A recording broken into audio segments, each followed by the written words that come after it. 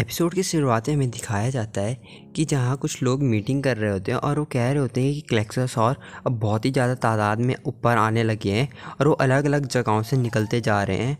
तब उनमें से जो एक आदमी होता है वो बोलता है, जो नाइन्स है, उन्होंने अभी सिचुएशन को संभाला हुआ है, पर उनके लिए अदर टास्क भी हैं जो उनको अभी कंप्लीट करने हैं। तभी उसके बाद वो स्टारलीजिया के बारे में बात करने लग जाते हैं और वो कहते हैं कि हम इसको कब तक बंद रखने वाले हैं। तब उनमें से एक बोलती है, तभी बाद हमें मित्सरू को दिखाया जाता है, जिसको बहुत सारी चोटें आई रहती है, ज़ीरो टू के साथ राइट करने की वजह से। और वो कह रहा होता है कि ज़ीरो टू एक डीमन है। इसके बाद वहाँ से एक लड़का खाना बाहर ले आता है उसका और वो कहता है कि मित्सुरो ने बिल्कुल भी अपने खाने को अभी तक नहीं खाया है और तब बाकी के सब जो वहाँ पे होते हैं वो कहने लग जाते हैं। वो तब से ऐसा है जब से वो ज़ीरो टू के साथ राइड करके वापस आया है। उसके बाद मीत्सुरु के पास वहाँ हीरो आ जाता है अंदर कमरे में और उससे पूछता है कि वहाँ ज़ीरो टू के साथ जब तुम थे तब वहाँ क्या हुआ था? तब मीत्सुरु बताता है कि उस लड़की ने मेरे अंदर से सब कुछ ले लिया। मेरा खून, मेरा मांस मीत्सुरु बताता है कि थोड़ी देर तक जब वो ज़ीरो टू के साथ था, तब तक तो सब कुछ नॉर्मल था, पर एक पॉइंट के बाद वो उसको मारने वाली थी। इसके बाद मीत्सुरु हीरो को पकड़ लेता है और बोलता है कि अगर तुमने उसके साथ फिर से राइड किया तो क्या पता ये तुम्हारे साथ भी हो जाए। फिर मीत्सुरु बोलता है, उसके बाद वहाँ बाकी सब लोग आके उसको पकड़ लेते हैं और उसको फिर से बेड में लेटा देते हैं। फिर अगले सीन में हीरो को दिखाया जाता है, जो उस कमरे से बाहर आके खड़ा हो जाता है और तभी वहाँ पे ईची को भी आ जाती है और वो बोलती है कि वो ज़ीरो टू को बिल्कुल भी ट्रस्ट नहीं कर सकती है और इसके बाद तो बिल्कुल भी नहीं जो मित्सुरु के साथ हुआ। उसके बाद वो कहती है, ज़्यादा परेशानी हो रही होती है। राइड करना ही चाहता है स्टार लीजिया को। फिर वहाँ पे जो लड़का रहता है जोरों में, वो बोलता है कि, पर एक यही तरीका है जिससे कि वो यहाँ हमारे साथ रह सकता है। उसके बाद जोरों में ये कहता है, इसका मतलब अगर यहाँ से ज़ीरो टू जाएगी तो हीरो को भी जाना पड़ेगा उसके साथ। फिर कोकरो कहती है कि मुझे लगता है कि ये ज़्यादा सही रहेगा हीरो के लिए, ज़ीरो टू के साथ जाना, नहीं तो अकेला ही रह जाएगा हमेशा के लिए। फिर मीकू कहती है, क्या तुम भूल गई कि ज़ीरो टू के अंदर क्लैक्सोसॉर का ब्लड है और वो एक ह्यूमन भी नहीं है? और तुमने देखा ना कि मित्सरू के साथ क्या हुआ जब उसने ज़ीरो टू के साथ राइड किया था? उसके बाद इचिको कहती है कि हीरो को इस सब के बारे में पूरा पता है, पर वो फिर भी ज़ीरो टू के साथ राइड करना चाहता है। उसके बाद इचिको कहती है कि वही एक अकेला नहीं है जो मर सकता है इसमें। पर अगर हमने अपनी चीज़ों को नहीं सुधारा तो हम भी कभी भी मर सकते हैं क्लेक्सोसॉर से लड़ते वक्त। फिर इचिको कहती है उनसे कि हमें क्लेक्सोसॉर को हराना सीखना होगा स्टारडीजिया के बिना। फिर अगले सीने में दिखाया जाता है कि ज़ीरो टू अपने फ्रेंड्स को देख रही होती है और वहाँ पे हीरो भी आ जाता है। पर हीरो उन बातों को याद करता है जो मीतसुरु और बाकी सब कह रहे थे और वो ज़ीरो टू से छुप जाता है। उसके बाद ज़ीरो टू वहाँ से चले जाती है और हीरो सोचने लग जाता है कि वो उससे छुप क्यों रहा था। फिर अगले सीन में हीरो को दिखाया जाता है जो अपने बाट टब में लेट के सोच रहा होता है कि अब वो ज़ीरो टू के साथ दो और टाइम ही राइड कर सकता है और तभी वहाँ पे ज़ीरो टू आ जाती है और हीरो उसको बोलता है कि तुम यहाँ क्या कर रही हो?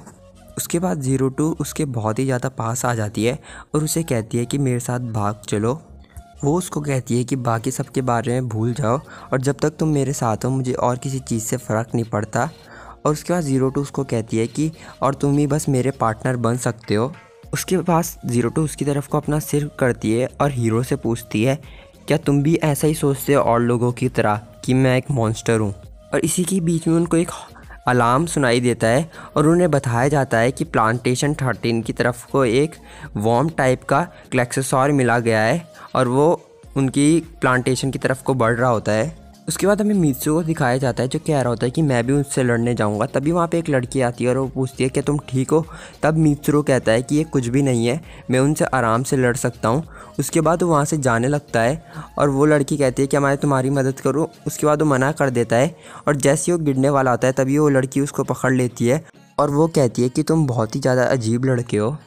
फिर अगले सीन में दिखाया जाता है जहाँ वो बोल रहे होते हैं कि उन्हें क्लेक्सोसॉर की आइडेंटिटी के बारे में कुछ नहीं पता है और उन्होंने बस यही डिटेक्ट किया है कि वो सिर्फ़ एक है और उसके बाद वो उन सबको ऑर्डर देते हैं कि वो अपने फ्रैंक्स को तैयार करें लड़ने के लिए। उसके बाद हमें मित्रों को दिखाया जाता है जो अपने फ्रैंक्स में बैठ चुका होता है और वो अपने पार्टनर को बोलता है कि इस बार ढंग से कनेक्ट करना और वो लड़की बोलती है, ठीक है, मैं इस बार ढंग से ट्राई करूँगी कनेक्ट करने की। इसके बाद वो कनेक्ट कर लेते हैं। इसके बाद वो सभी के सब उस क्लेक्सा सौर की तरफ़ को जाने लगते हैं। उसके बाद वहाँ ज़ीरो टच नहीं कहा।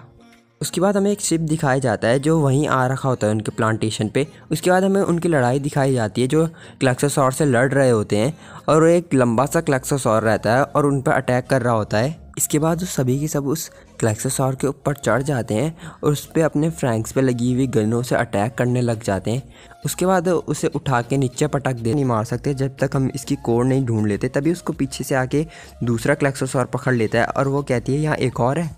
उसके बाद वो कहते हैं कि हमें उसकी मदद करनी होगी, पर वो क्लेक्सोसॉर तभी उन पर अपने स्पाइक से हमला कर देता है और उन पर वो मार देता है। उसके बाद वो क्लेक्सोसॉर मीको के फ्रैंक्स को दबा रहा होता है और जैसे वो मदद करने के लिए जा रहे होते हैं, तभी वहाँ पे एक गड्ढा आ जाता है और उसके नीचे से भी एक और क्लेक्सोसॉर निकल के आ जाता है। उसके बाद ये चीज़ ज़ीरो टू और नाना भी देख रहे होते हैं और ज़ीरो टू कहती है, तुम्हें नहीं लगता तुम्हें हमें भी भेज देना चाहिए? तब नाना कहती है, सवाल ही नहीं उठता इस चीज़ का। उसके बाद ज़ीरो टू उससे पूछती है कि जो अभी अभी यहाँ पे एक प्लेन लैंड हुआ था, वो किस चीज़ के लिए था? उसके बाद वहाँ पे बहुत सारे गार्ड्स आ, आ जाते हैं और वो ज़ीरो टू को कहते हैं कि तुम हमारे साथ आ रही हो। उसके बाद नाना वो कहती है उसे कि तुम अकेले ही जा रही हो। उसके बाद वो ज़ीरो टू को कहती है कि जब तक उन्होंने क्लेक्सासौर को उलझाया हुआ है तब तक तुम यहाँ से जल्दी से निकल जाओ। तभी एक आदमी आके ज़ीरो टू के कंधे पे हाथ रखता है और ज़ीरो टू से दूर फेंकती है और कहती है मुझे टच मत करो। उसके बाद वो सभी अपनी लेज़र से ज़ीरो टू पे टारगेट करने लग जाते हैं। उसके बाद ज़ीरो टू हीरो के पास आती है और कहती है कि मुझे लगा था कि हम दोनों मिलकर फ्रैंक्स को चलाएँगे। फिर ज़ीरो टू आगे बोलती है हीरो से कि मैं तुम्हारे साथ रहना चाहती थी। उसके बाद ज़ीरो कहती है, पर मुझे लगता है कि अब मुझे यहाँ से जाना पड़ेगा। उसके बाद ज़ीरो टू हीरो को बाय बाय कहती है और वहाँ से चले जाती है। उसके बाद नाना कहती है कि ये ऑर्डर पापा की तरफ़ से आए थे। उसके बाद हीरो उससे पूछता है कि ये सच है कि ज़ीरो टू पार्टनर किलर है? उसके बाद नाना कहती है कि ज़ीरो टू एक स्पेशल पिस्टल है जिसे हमेशा ही फ्रंट लाइन में फाइट करते रहना चाहिए। उसके बाद वो आगे कहती है कि ज़ीरो टू तुम्हारी तरह एक नॉर्मल चिल्ड्रन नहीं है। उसके बाद हीरो उससे पूछता है तो क्या ज़ीरो टू ह्यूमन नहीं है? फिर वो उसको हाँ कहती है। उसके बाद हीरो भी वहाँ से भाग जाता है और ज़ीरो टू की तरफ़ के लिए जाने लगता है। उसके बाद हीरो एक दरवाजे पे आ जाता है जहाँ से वो आगे नहीं जा पाता और वो ज़ीरो टू को रुकने के लिए कहता है। उसके बाद वो ज़ीरो टू को कहता है कि वो बहुत ही ज़्यादा कॉन्फिडेंट है। हीरो ज़ीरो टू से कहता है कि जब वो क्लक्ससॉर के साथ लड़ रही थी, उस दिन जबकि उसको चोटें भी लगी थी तो ये देख के हीरो को बहुत ही ज़्यादा अच्छा लगा और वो भी ज़ीरो टू के साथ फ्रैंक्स को पायलट करना चाहता था। हीरो कहता है कि उसे अब रियलाइज़ हुआ है कि वो पहले से ही फ्रैंक्स को पायलट नहीं करना चाहता था। वो ज़ीरो टू के साथ राइड करना चाहता था और वो कहता है ज़ीरो टू से कि प्लीज़ मत जाओ।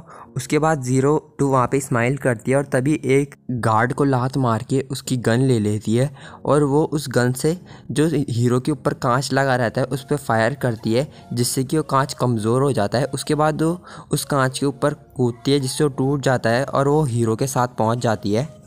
उसके बाद ज़ीरो टू हीरो के पास आके कहती है कि ऐसी चीज़ मेरे लिए आज से पहले किसी ने नहीं कहा है। तब हीरो कहते हैं कि मैंने भी ऐसी चीज़ की सीख ली इससे पहले नहीं कही। उसके बाद ज़ीरो टू कहती है, क्या तुम मेरे साथ राइड करना चाहते हो? तब हीरो उसको हाँ कहता है और ज़ीरो टू कहती है कि फिर से बोलो, मैं इसको एक और बात सुनना चाहती हूँ, तुम्हें कहते हुए। उसके बाद हीरो उसको ज़ोर से चिल्लाते हुए बोलता है कि, मैं तुम्हारे साथ स्टार लीजिया को राइड करना चाहता हूँ।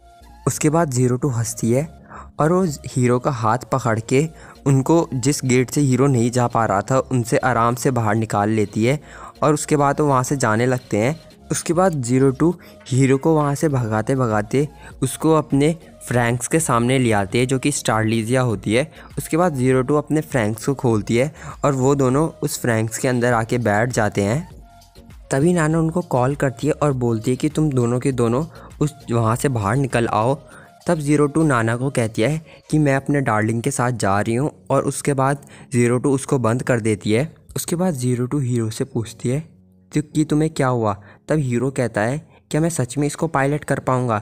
ज़ीरो टू कहती है कि, तुम आसानी इसको पायलट कर सकते हो क्योंकि हम दोनों अब एक साथ हैं। उसके बाद वो कहती है, क्या तुम रेडी हो? उसके बाद हीरो भी उसको हाँ कहता है।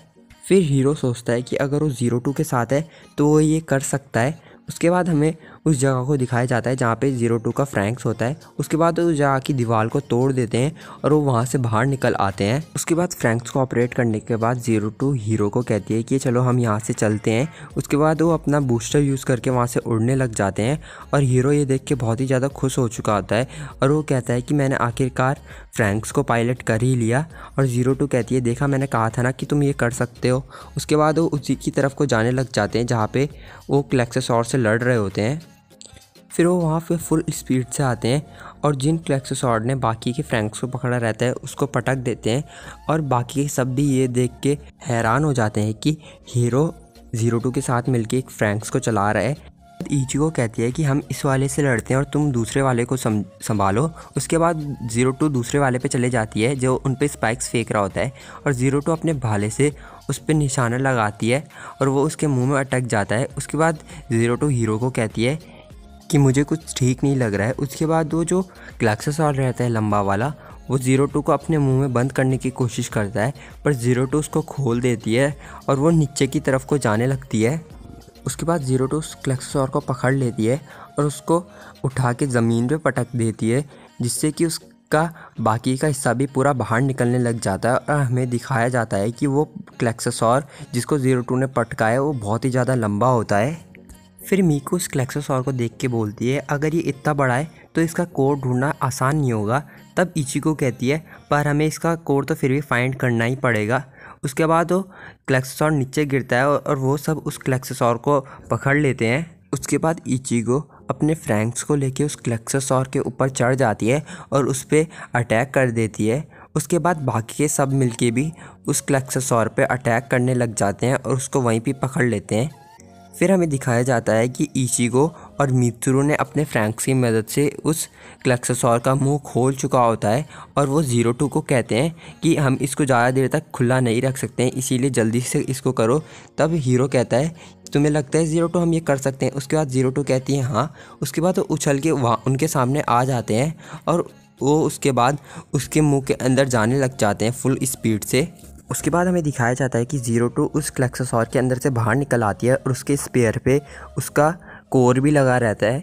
उसके बाद वो क्लेक्सोसॉर वहीं फट जाता है। उसके बाद बाकी के सभी के सब मिलके स्टारलीजिया को देख रहे होते हैं और यहीं हमारा एपिसोड ख़त्म हो जाता है।